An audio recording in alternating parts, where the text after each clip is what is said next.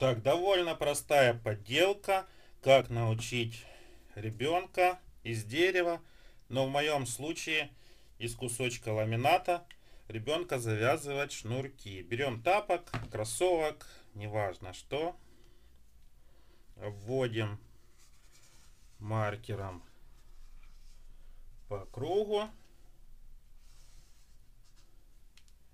и вырезаем.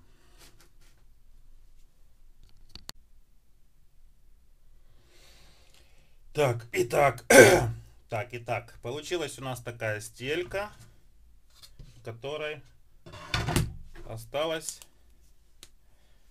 наметить дырочки для наших шнурков.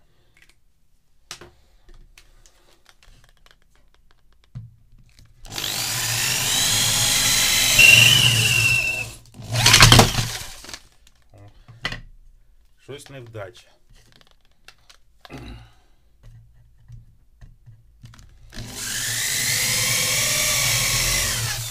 О, лучше.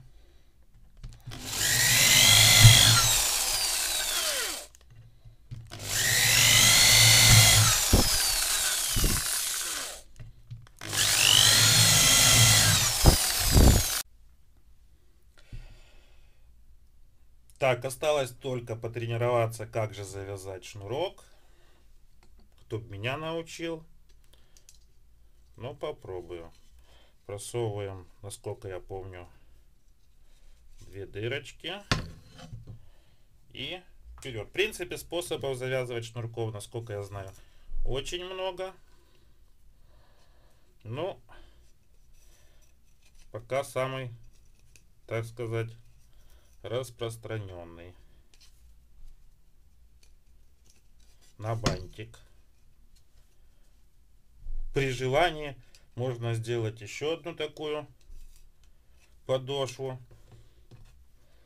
И будут неплохие вьетнамские тапочки. На лето.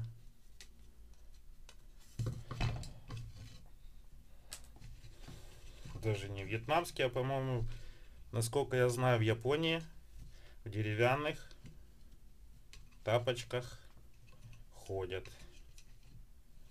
Все, готово. Осталось научить ребенка. Вот такой вот маленький подделка. Спасибо.